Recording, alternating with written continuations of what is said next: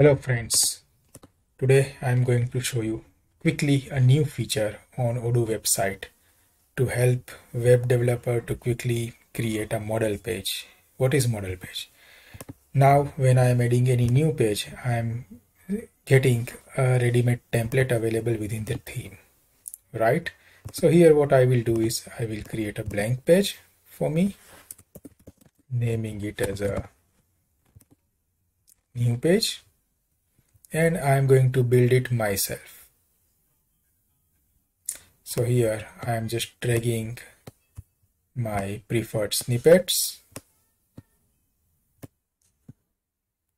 So this page is ready.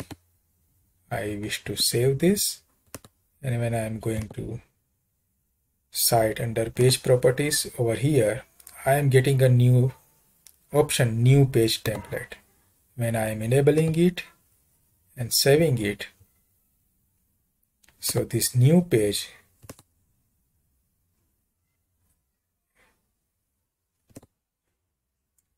will be available over here under custom.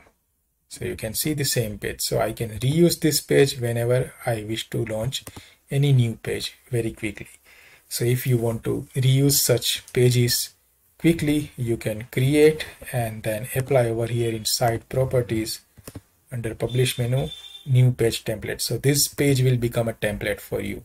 So anytime you want to create any new page it is very easily you can use the same property.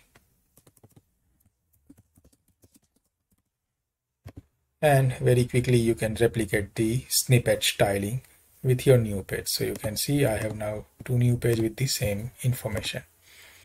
So a good feature uh, promising feature for web, de web developer to quickly create the website. Thank you.